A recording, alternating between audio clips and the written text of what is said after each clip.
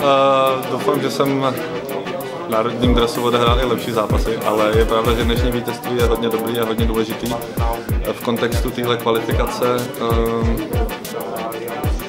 pro mě osobně to byl hodně náročný zápas, protože jsem se po vyřazení Satyho mimo hru eh, musel posunout na pozici středního rozehrávače a strávit eh, hodně času na hřišti. Hradím na téhle pozici, která není úplně 100% eh, mojí, mojí herní pozicí a samozřejmě jsem strávil zápas běháním po celém hřišti s mnohem menšíma a rychlejšíma hráčima. Takže pro mě osobně to byl fyzicky hodně náročný zápas.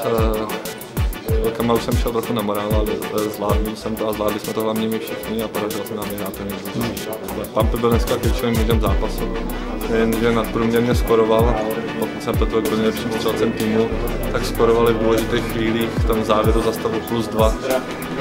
Plus dva pro nás měl ten důležitý nájezd, který proměnil a hlavně mě samozřejmě nejedno dne těžký úkol bránit jejich nejlepšího střelce Vojvodu, což stálo taky spoustu sil energie, takže klobouk dolů před Pampyho výkonem dneska. Tak v posledních dvou letech jsem strávil dost času na, na, na střední rozehrávce, e, nejenom v národním týmu, ale, ale i v Limborce častokrát, takže Samozřejmě tak nějaké zkušenosti s tím mám, ale jak říkám, už pro mě není jednoduché ve 34 eh, běhat po hřišti eh, s těma, těma rychlejšími. Pesaty je náš nejlepší hráč, je to náš klíčový hráč.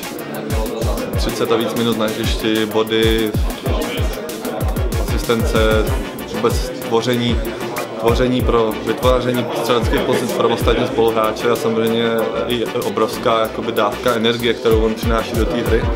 Takže ztráta je to samozřejmě citelná o to asi víc můžeme být eh, píšnější na to vítězství, že se nám podařilo to, to nějakým způsobem vyrovnat a tu ztrátu a, a přesto ten zápas vyhrát. Proti ne, ne, nelehkému soupeři. No tak ta druhá, ta dva, byla dva na jednoho, kde se mi trošku za, eh, za zamotal míč a na, na, na, na desetinu vteřin už jsem myslel, že ho ztratím a najednou se mi zase objevil mezi mými nohama a podařilo se mi ho dostat ještě včas k Patrikovi, který sice nedal koš, ale byl z toho faulovaný a dal dvě šestky, takže, takže dobrý a smeč samozřejmě eh, akce, která pro mě už není tak, tak typická.